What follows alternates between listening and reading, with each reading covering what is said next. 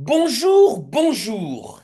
Il y a deux jours, un important personnage de l'histoire récente de l'Amérique latine s'en est allé. Le prêtre Gustavo Gutiérrez, prêtre péruvien, est parti vers d'autres cieux.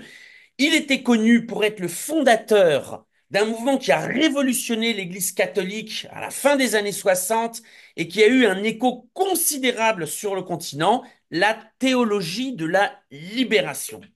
Alors, pour ceux qui s'intéressent à la théologie ou à l'Amérique latine, les noms de nombreux partisans de la théologie de la libération vont vous sembler connus. On pense évidemment aux frères Cardenas au Nicaragua, à Leonardo Boff et Frei Beto au Brésil, au Colombien Camilo Torres, dont l'engagement religieux l'a fait rentrer dans la guérilla de l'ELN, les anciens présidents du Paraguay ou d'Haïti, Fernando Lugo ou Jean-Bertrand Aristide. Je citerai aussi François Outard, même s'il était belge, il a beaucoup œuvré de ce côté-ci de l'océan. Voilà. Alors aujourd'hui, sur les deux rives, nous allons parler religion et puis un peu politique, évidemment, vous allez voir pourquoi. Car sur ce continent, les deux sont assez difficilement dissociables. On ne peut pas comprendre les évolutions sociales et culturelles sans prendre en compte la force motrice de la foi dans les peuples latino-américains. Et pour ce faire, nous avons alors là l'immense plaisir de recevoir le prêtre Pierre Rioufray, qui vit en Amérique latine depuis 1976, notamment à Guayaquil en Équateur, et qui est un adepte de la théologie de la libération. Pierre Rioufray, bonjour, merci d'avoir accepté notre invitation. Bonjour Romain, moi aussi je suis très content de te connaître. Je te félicite pour ton travail. J'ai- J'aime bien ton introduction. Hein, je pense qu'on a besoin les uns des autres. On a besoin les uns des autres. Et on a besoin aussi de la dimension spirituelle, en particulier par la manière euh, que, qu'elle, prend en ce moment avec la théologie de la libération, qui est tout à fait, tout à fait une nouveauté dans l'Église et puis dans le monde. Alors, euh, Pierre Rioufray, est-ce que vous pourriez nous résumer ou tenter de résumer, parce que je suis sûr qu'il y a beaucoup de gens qui nous écoutent là et qui euh, bah, qui savent pas ou peu euh, sur la théologie de la libération. Comment peut-on la résumer? Qu'est-ce que c'est? Et puis, bah, quel a été le poids de euh, Gustavo Gutiérrez, donc, qui nous a quittés il y a deux jours, dans l'élaboration de la théologie de la libération? Oui, donc euh, bonjour à tous les amis qui nous écoutent. Euh, la théologie de la libération, c'est une nouvelle manière de faire euh, une réflexion sur la foi, sur, euh, sur Dieu, et puis sur l'engagement des, des, chrétiens dans le monde.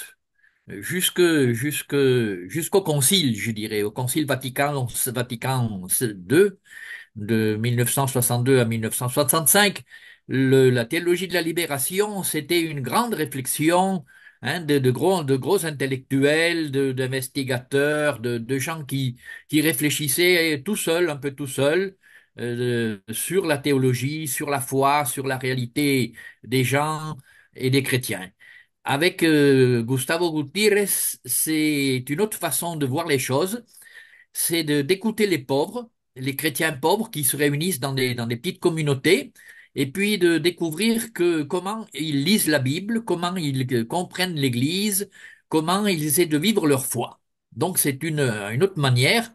On ne part plus de d'en haut, je dirais, mais on part d'en bas, et spécialement du monde des pauvres, de ces chrétiens qui, en Amérique latine, s'appellent les communautés ecclésiales de base, et qui se réunissent justement pour vivre leur foi dans le secteur où ils sont et euh, à partir de là, donc, vient une nouvelle manière de rencontrer Dieu, une nouvelle manière de, connaître Jésus-Christ, une nouvelle manière aussi d'être l'Église. Alors, euh, je dirais, c'est pas aller de soi, non, la naissance de cette, euh, de cette théologie. Est-ce que vous pourriez, alors, de manière aussi pareille, hein, de, de résumer, peut-être pas de rentrer trop dans les, dans la profondeur des débats euh, théologiques et spirituels qui se sont donnés, mais qu'est-ce qui s'est passé aux conférences épiscopales de Medellín en 68 ou celles de Puebla en 79 qui ont été assez fondatrices? Qu'est-ce que c'est que cette option préférentielle pour les pauvres? qui euh, a été ben, érigé un peu dans ces, euh, lors, de ces conférences épiscopales? Oui, je pense que Gustavo, Gustavo Gutiérrez ce qui l'a, ce qui l'a, ce qui l'a poussé à réfléchir, c'est de se demander comment se fait-il que les pauvres, hein, c'est-à-dire ceux qui vivent dans des conditions inhumaines, injustes, euh, peuvent croire en Dieu. Hmm. hein. Quand on dit que Dieu est, un, est, est bon, comment se fait-il qu'il y a autant de pauvreté? Et comment se fait-il que les pauvres sont justement des, des, des, des gens qui suivent Jésus-Christ euh, dans la réalité de tous les jours? Donc c'était une certaine contradiction. Comment un Dieu qui est bon peut-il être aimé par des gens qui sont dans des conditions infrahumaines? hein Alors donc, c'est, qu'est-ce, qu'a fait Gustavo Gutiérrez? C'est d'aller justement dans les quartiers populaires, de vivre comme prêtre dans un quartier populaire du, Pérou, de Lima, et puis de, participer, de, s'unir à ces communautés ecclésiales de base pour dire, bon, qu'est-ce que, qu'est-ce qui se passe là? Qu'est-ce qui se passe dans, la tête de ces gens, dans la vie de ces gens et dans leur foi? Et donc c'est là qu'il a découvert que les pauvres avaient une autre façon de voir Dieu, une autre façon de comprendre Jésus-Christ, et puis une autre manière de suivre son message. Et donc c'est ça qui a fait le début de la théologie de la libération. hein. C'est en écoutant les pauvres, en les, en- en les accompagnant, en les soutenant, que lui a découvert qu'il y a une autre manière de parler de Dieu, une autre manière de suivre Jésus-Christ et une autre manière d'être l'Église. Et donc le Concile Vatican avait ouvert cette voie de, de- de- d'une certaine option pour les pauvres. hein. Le- le- le- le- le- le- l'expression n'est pas dans le concile, mais si il y a dans le, dans, dans dans, le concile de, de Vatican II ce souci des pauvres, ce souci des pauvres qui n'a pas, qui n'a pas, qui n'a pas dépassé beaucoup de limites. Et alors, les, évêques qui étaient, les évêques d'Amérique latine euh, qui étaient au concile, particulièrement les plus ouverts, ont décidé en 1968, donc trois ans après le concile, de faire une réunion. Et puis, ils se sont dit comment on va appliquer ce concile à Amérique latine? Et donc, c'est là qu'il y a eu euh, cette option pour les pauvres. hein. D'abord, c'est une quarantaine d'évêques d'Amérique latine avaient fait une réunion après, à la fin du concile dans les catacombes, hein, dans la catacombe de Domitil, et ils ont dit, nous allons vivre pauvrement avec les pauvres pour les aider à sortir de leur, pauvreté. Donc, ce, départ des grands évêques latino-américains, c'est eux qui ont fait cette réunion de Medellín. Et puis, donc, c'est là où on s'est dit, nous allons être solidaires des pauvres. Nous allons vivre la pauvreté et être solidaires des pauvres. Voilà un peu le, point de départ de cette nouveauté. Alors pourquoi l'Amérique latine? Euh, pourquoi euh, précisément c'est né ici?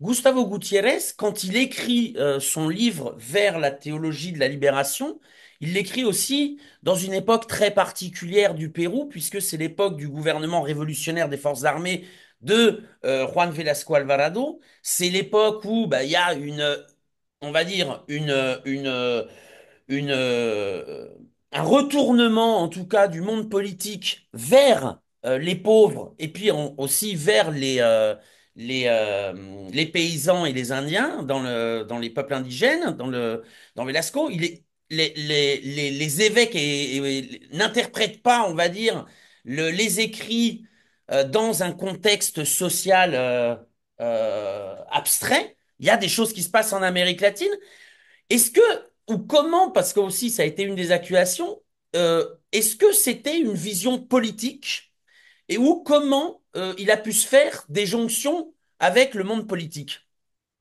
Oui, je pense que oui, ta, question, Romain, est très intéressante. Euh, ces, années-là, effectivement, c'était, si tu veux, le, commencement du réveil des pauvres en Amérique latine. Voilà.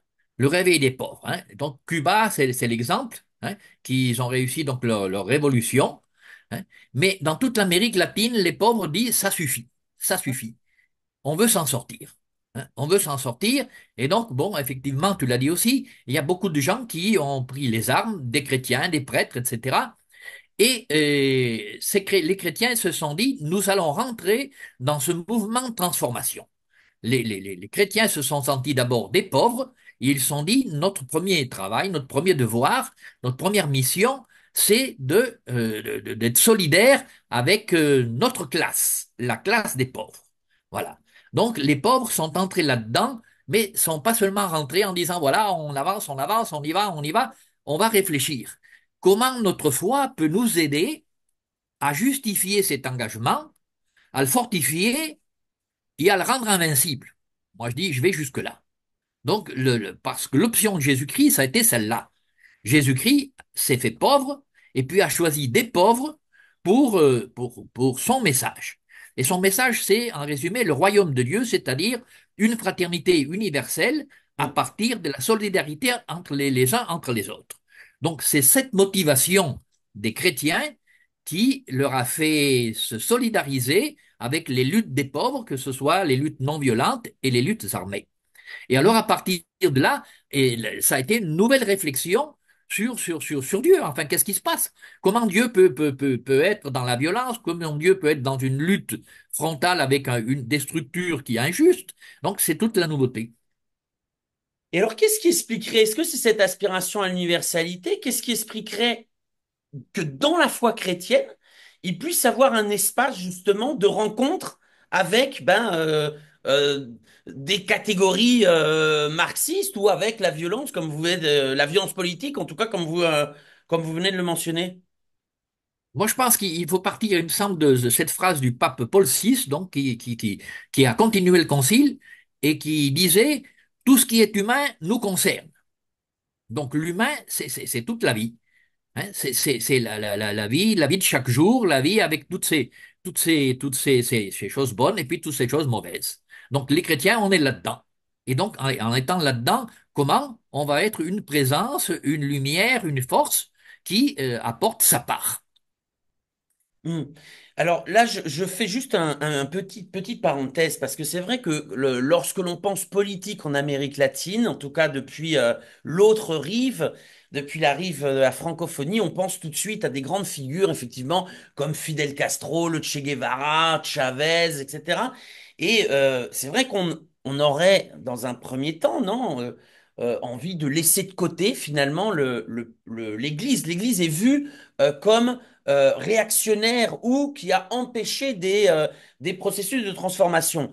Alors, pas du tout. Hein. Euh, moi, j'ai rencontré aussi des, prêtres euh, de la théologie de la libération dans des quartiers populaires. Euh, ils n'ont absolument aucune, mais alors aucune leçon de changement du monde à recevoir. C'est des gens vraiment le, impliqués et puis la force motrice de la foi est évidemment très grande. Alors là, si on pense à Chavez, je rappelle que Chavez aussi était très catholique. Mais effectivement, effectivement, on pense à cette photo euh, de, euh, des élites, de certaines élites de euh, l'Église posant aux côtés des dictateurs du Côte Sud. Et là, ça va être ma prochaine question, Pierre. C'est que effectivement, la théologie de la libération en Amérique latine, alors la théologie de la libération, c'est c'est étendu, hein, elle a passé les frontières passer les continents aussi, mais elle a généré de l'opposition. Alors déjà au Pérou, où on peut dire elle est née avec le formellement avec le, le, livre de, Gustavo Gutiérrez, on pense au, sodalicio, à l'ordre du sodalicio qui euh, euh, venait, lui avait des racines euh, fascistes, ouvertement, qui a proposé une théologie de la réconciliation qui était un instrument vraiment anti-théologie de la libération. Alors pour la petite histoire, ça a mal fini pour cet ordre parce que ça a fini avec des accusations de pédophilie qui ont été jugées il n'y a pas longtemps au Pérou. Enfin ça c'est pour la petite histoire. Pour la grande histoire, on va dire, euh, ça a généré non seulement des oppositions donc euh, dans la réflexion autour de la foi, ça a généré des oppositions des dictatures des années 70 et notamment avec l'assassinat de plusieurs religieux, que ce soit en Argentine, au Salvador euh, ou dans d'autres pays dirigés par les dictatures, et puis euh, à Rome aussi. Quelle a été, enfin au Vatican, quelle a été la réaction euh, des autorités ecclésiastiques? Et je pense particulièrement à quelqu'un qui a été pape par la, par la suite, puisque je pense à Monsieur Ratzinger, qui a été chargé un peu de, de ces questions-là. Oui, ce- tout ce que tu dis là, ça a été le, le grand défi du concile. D'accord. Lorsque, lorsque le pape Jean XXIII a, a convoqué le concile, il a dit la phrase suivante. L'Église est de tout le monde, mais elle est d'abord l'Église des pauvres. Donc voilà, ça, ça c'était, je pense, le, le, le, le, le- le- le but fondamental de, de, Jean XXIII. Comment sortir du mariage entre l'Église et les puissants de ce monde. Voilà, je pense que ça, c'était le gros défi du Concile. Et donc, encore, la chose continue, évidemment. On le voit encore aujourd'hui avec le pape François, qui essaie de nous montrer une Église beaucoup plus avec une dimension sociale. Et donc, c'est ça le défi. C'est la, nouveauté. Je pense que l'apport des évêques latino-américains au Concile n'a pas été compris. Parce que la majorité des évêques et des théologiens qui, ont fait le Concile, c'était des Européens. Et donc, il n'y avait pas encore cette préoccupation, comme il y a maintenant, d'écouter quand même ce qui se passe dans le monde, en Amérique latine, en Afrique, en Asie, dans les secteurs les plus populaires. Quoi. Donc, le moment du Concile, c'était un changement de société. La société ne peut plus se construire sans les pauvres. Hein. Et donc, ça, c'est la grande lutte qu'il y a actuellement contre le système capitaliste néolibéral qui est en train de nous dominer. Non? On dit qu'il est agonisant, mais c'est une agonie qui dure et qui va durer. Là. Donc l'Église qui a toujours été du côté des puissants, hein, les, hiérarchies en particulier, donc ça, ça, a été la grande secousse, quoi, le grand tremblement de terre du Concile. Et donc il y a toute une grande majorité de prêtres et d'évêques qui ne sont pas rentrés dans, cette dynamique du Concile. Hein. Faire, être une Église beaucoup plus fidèle à Jésus-Christ, qui était, qui était pauvre, et puis qui a choisi des pauvres pour transformer les choses et transformer le monde. Donc aujourd'hui aussi, on en est toujours dans cette même dynamique d'opposition d'une église qui, d'une église hiérarchique, hein, d'une institution qui, qui a des difficultés à s'adapter, qui meurt tout doucement. Hein, je pense que c'est la réalité actuelle, mais qui en même temps a des nouveaux espaces qui sont créés en, en particulier avec toute cette option pour les pauvres, ces, cette option pour les pauvres lancée par le Concile, confirmée en Amérique latine, confirmée en Afrique, en Asie aussi, et donc ce mouvement de théologie de la libération est devenu universel, hein, parce que c'est un mouvement qui revient aux racines de l'Évangile, aux racines du message de Jésus-Christ. Et qui incite à la transformation du monde aussi. C'est pas une, juste euh, faire en sorte que les pauvres acceptent le, le monde tel qu'il est, non? Oui, tout à fait. Jésus-Christ n'a pas passé son temps dans les synagogues ni dans le temple de Jérusalem. Hein? Jésus-Christ a passé son temps avec les gens, à, rencontrer les gens, à se réunir avec les gens, à les aider à s'en sortir de leurs maladies, de leurs problèmes, et puis leur dire unissez-vous, réunissez-vous, et puis faisons, commençons à vivre d'une autre façon. On va pas commencer à prendre le pouvoir, on va commencer à vivre d'une autre façon nous autres, et puis à partir de là, les choses vont changer, les gens vont changer, les institutions vont changer, parce que nous allons nous engager dans une nouvelle façon de vivre et de former la société.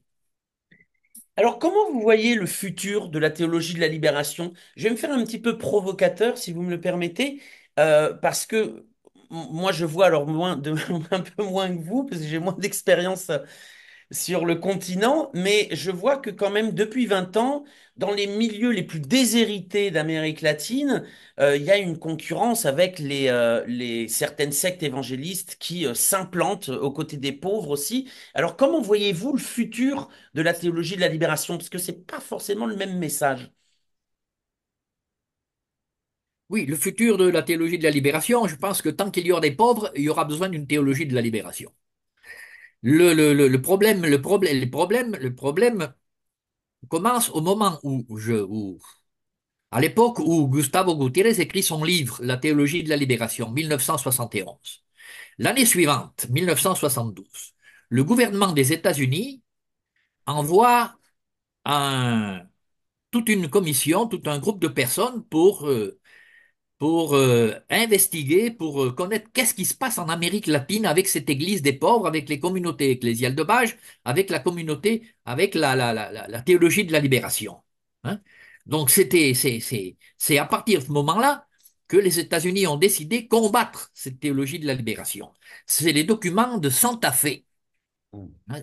Je crois qu'actuellement, le document de Santa Fe, c'est quelle est la, quelle, est quelle va être la, diplomatie et l'attitude des États-Unis vis-à-vis de l'Amérique latine pour combattre cela, parce que euh, ils, ont, décidé que ce mouvement de la théologie de la libération, de l'Église des pauvres, des communautés ecclésiales de base, des théologiens d'Amérique latine, c'était un danger pour le, le, les intérêts nord-américains. Effectivement, si les pauvres se, se, réveillent, et si les curés se mettent avec les pauvres, et si l'Église se met avec les pauvres, eh ben, on va pas pouvoir s'en sortir. Donc il faut détruire cette théologie de la libération. Et alors c'est là que euh, je crois qu'ils ont ouvert un département théologique Et puis, ils ont décidé d'envoyer en Amérique latine les, évangélistes, les sectes évangélistes. Hein. L'origine des sectes évangéliques en Amérique latine vient de cette décision des États-Unis de les financer. Et puis, comme ils voyaient que ça marchait pas, donc ils ont inventé aussi les dictatures militaires pour tuer un peu tous les évêques. Il y en a eu une douzaine qui ont été tués, une centaine de prêtres, autant de religieuses et des milliers de chrétiens qui étaient engagés dans ce, dans, ce mouvement-là. Et ça continue. Hein. Et ça continue. Donc là, là on voit hein, quand même à quel, à quel point, comme je parlais euh, de, de la force motrice de la foi en Amérique latine, à quel point euh, on est aux confins du spirituel, du politique et même du géopolitique. Alors, bah, c'est, absolument, absolument, vraiment, vraiment intéressant. Euh, et comment, Pierre, comment vous, vous avez, on va parler un peu là, de votre parcours euh, personnel. Comment vous êtes, quel était votre intérêt? Comment vous êtes devenu adepte de cette théologie de la libération? Et qu'est-ce qui vous a à venir en Amérique latine aussi? oui, si tu veux, je suis rentré donc au séminaire euh, en 1962. Ensuite, nous avions à faire le service militaire. Je n'ai pas voulu faire le service militaire. Et il y avait la possibilité à ce moment-là de faire un service civil dans l'éducation, dans la santé, dans le, dans le, on dirait l'environnement, tout ça. Moi, j'ai choisi donc de, j'ai demandé cela, puisque c'était possible aussi. Je l'ai aussi obtenu et j'ai passé deux ans en Amérique latine. Alors, c'est là où je me suis rencontré avec le monde des pauvres en Amérique, en, Algérie, en Algérie, en Algérie, à Alger. Donc, pendant deux ans, de 1964 à 1966, j'ai été euh, instituteur dans une petite école dans un quartier pauvre d'Alger. Donc, j'ai découvert la pauvreté et puis j'ai découvert aussi le monde musulman. Et j'ai découvert aussi un livre qui disait Les pauvres nous évangélisent. Donc voilà, à partir de ce moment-là, quand je suis rentré de nouveau au séminaire pour trois ans de plus, avant d'être ordonné en 1969, donc j'ai euh, j'ai eu ce souci des pauvres. Alors je me suis mis en contact avec le, CCFD, hein, le Comité catholique France euh, contre la faim et pour le développement, afin d'essayer d'aider les gens d'Afrique, puisque à ce moment-là, ben, l'Afrique c'était c'était plus euh, un peu un sujet pour pour l'Église de France, en particulier pour le l'entraide avec les pauvres. Et alors, j'ai toujours eu un peu ce souci de, de- des pauvres d'Amérique latine. Au séminaire, il y avait aussi deux jeunes d'Équateur, et il y en a un qui m'a dit en 1975, viens travailler avec moi en Équateur. Ben, j'ai dit pourquoi pas. La deux- l'autre préoccupation que j'avais, c'était que en 1975, le pape Paul VI a, qui a écrit une lettre encyclique qui s'appelle l'évangélisation du monde contemporain. Et là, il y avait une phrase qui disait au numéro 8 de, sa lettre, le, royaume de Dieu est l'unique absolu. Alors ça a été pour moi un coup de, pied dans la figure. Jamais pour, moi le royaume avait été l'absolu. On s'occupait de beaucoup de choses, sauf du royaume, presque. Et alors, je suis parti l'année suivante, 1976, en Amérique latine, et j'ai vu justement que les chrétiens d'Amérique latine, les prêtres d'Amérique latine, dans la ligne du Concile, dans la ligne de Médé- formaient ces communautés ecclésiales de base, et pour eux, le thème du royaume était quelque chose de, pas de naturel, mais enfin, qui était très important. Donc, pour moi, quand je suis arrivé en Amérique latine, je suis rentré dans ce que je cherchais, en définitive. Hein. Un engagement avec les pauvres, Hein, Et puis, euh, aider les pauvres, quand on va en Amérique latine pour faire quelque chose de bien, ben on dit, oh, je vais, je vais, je vais aider les pauvres à s'en sortir. Donc, c'est, c'est ce qu'on commence par croire au début, et puis on, ils s'en sortent pas. Mais donc, notre lutte avec les pauvres va continuer dans ce chemin-là. Très bien, très bien. Eh bien, écoutez, Pierre Youfray, merci beaucoup. Vraiment, c'était un, échange vraiment enrichissant. Alors, n'hésitez pas à laisser des commentaires, hein. Peut-être qu'on reviendra parce que j'ai tellement d'autres questions, mais on va pas surcharger parce que là, on a fait sur la théologie de la libération. Peut-être qu'on reviendra à faire une entrevue avec Pierre Youfray.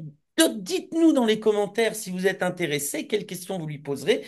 Pierre, merci beaucoup. D'accord. Merci, merci à toi, Romain, et puis euh, bonne chance dans ton travail. Je pense qu'on aura l'occasion de se rencontrer et se donner une grande embrassade. Je te remercie. Certainement.